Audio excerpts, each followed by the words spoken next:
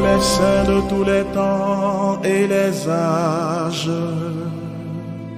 qui avaient marché dans la lumière du Seigneur.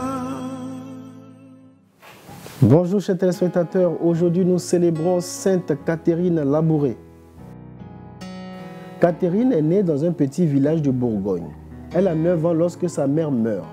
Depuis le départ de celle-ci, elle a mené une vie très pénible, fermière, fille de ménage bergère. Mais Catherine se retire de temps en temps à l'église pour ses temps de prière. Son père voulait la marier, mais elle refusa, car son rêve, c'est de servir les pauvres. Elle entre finalement chez les sœurs de Saint-Vincent de Paul. Durant la nuit du 18 juillet 1830, veille de la fête de Saint-Vincent de Paul, elle se sent appelée par un enfant mystérieux qui la conduit à la chapelle. Assise, l'enfant lui annonce la venue de la Vierge Marie qui lui apparut. Elle lui apparaît une seconde fois un autre jour pendant son temps de prière. La Vierge Marie s'est présentée avec une robe rose de soie blanche, aurore, dit-elle.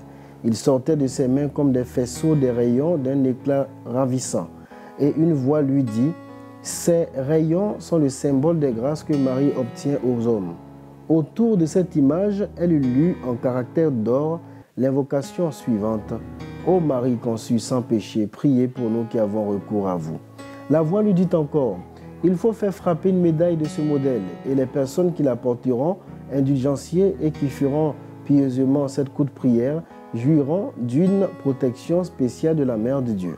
Cette médaille est appelée la médaille miraculeuse et fait partie des médailles les plus répandues dans le monde. Catherine Labouré a été canonisée par le pape Pie XII en 1947. On retrouvera à l'exhumation son corps intact. Catherine Labouré est une femme très humaine, une sainte très proche de nous. Sa vie est à la fois extraordinaire, simple et extraordinairement remarquable. Elle est aussi appelée la sainte du silence. Catherine Labouré nous invite à faire beaucoup silence, un silence intérieur qui nous permet d'écouter la voix de Dieu qui parfois nous prévient des mots et nous parle. Nous sommes tellement agités, faisant bruit en nous et autour de nous que nous ne saisissons rien des signes de l'Esprit. Sainte Catherine Labouré, priez pour nous. Nous souhaitons une très bonne fête à toutes les personnes qui se prénomment Catherine. C'était votre émission Ton Saint Patron te parle. À demain. Les saints de tous les temps et les âges,